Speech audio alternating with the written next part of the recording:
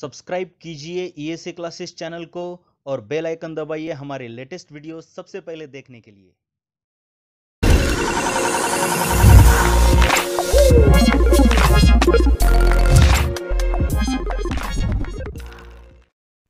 if if an object is thrown in upward direction it goes goes in upward direction at the maximum height velocity becomes zero and then ag- again object returns back to returns back to same position.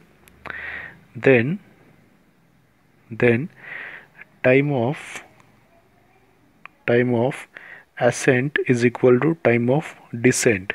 Time required to go up is equal to time required to come down from that position. So both times are same then velocity of velocity at each point is same while going upward as well as while going downward.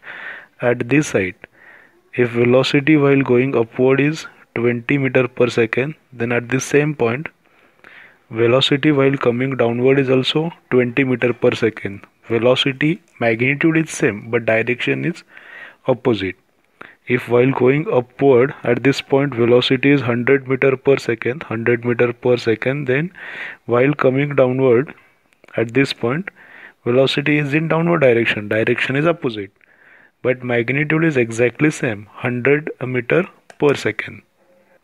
If air resistance is taken into contact if air resistance is not not taken into contact then time of ascent and time of descent same if air resistance is taken into account then time of ascent is less and time of descent is more. Time of ascent less less and time of descent more more. If while going from this position to this position velocity changes from v1 to v2 and acceleration throughout the process is constant velocity changes from v1 to v2 and acceleration acceleration is constant.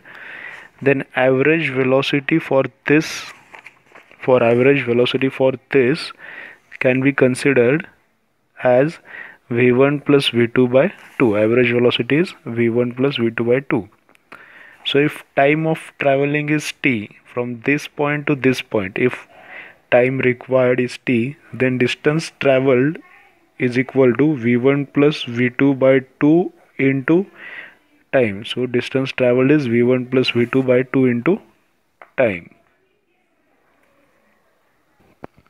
If part particle travels from this position to this position half distance is d and half distance is d.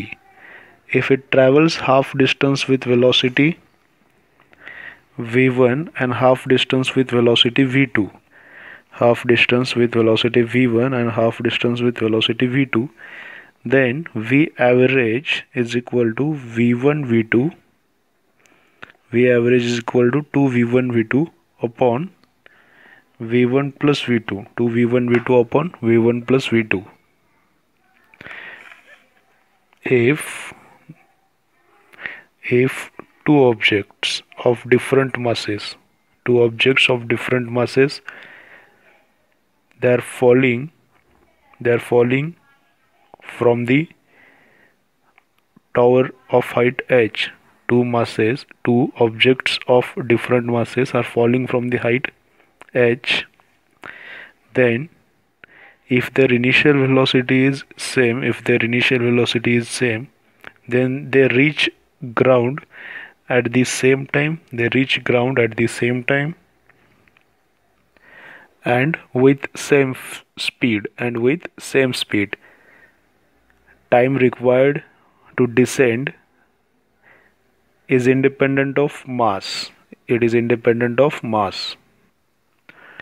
If a ball is dropped from height h then it takes time t to reach ground. If a ball is dropped from height h then it takes time t to reach the ground if same ball is thrown in upward direction then it reaches ground in time t1 if same ball is thrown in downward direction with velocity v. Here velocity and in this case upward velocity given both velocities are same.